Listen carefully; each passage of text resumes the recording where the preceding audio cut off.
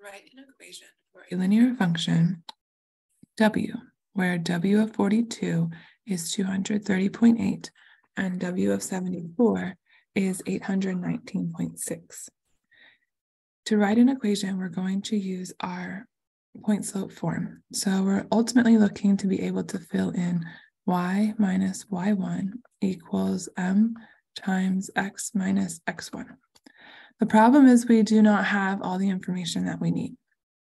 we're given W of 42 equals 230.8 and W of 74 equals 819.6. These are points. When we look at these as points, the number inside the parenthesis is our x and the number outside the parenthesis is our y.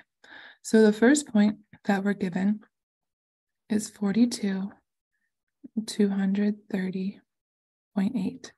And the second point that we're given is 74 and 819.6.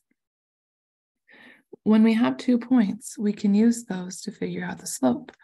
Remember, the slope is y2 minus y1 all over x2 minus x1. We can label these points. This is the x of our first point, so x1. This is the y of our first point, so y1. This is x of our second point, x2, and y of our second point, y2. So substituting everything in, y2 we have is 819.6 minus y1, we labeled that one for 230.8. All over x2 we have a 74, and x1 we have is 42. If we do our subtraction, this works out to be 588.8 on the top, and 74 minus 42 is 32 on the bottom.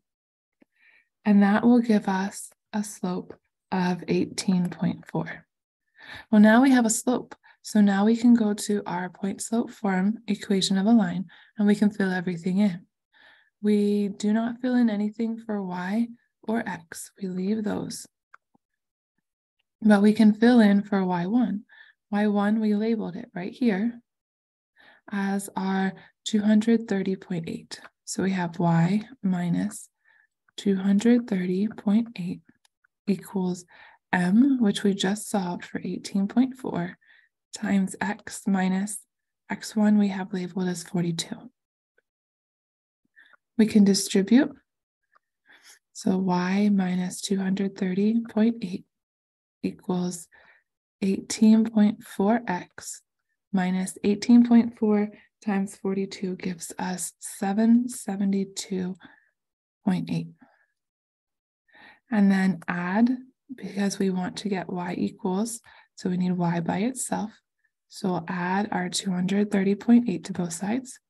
And we're left with y equals 18.4x minus 542.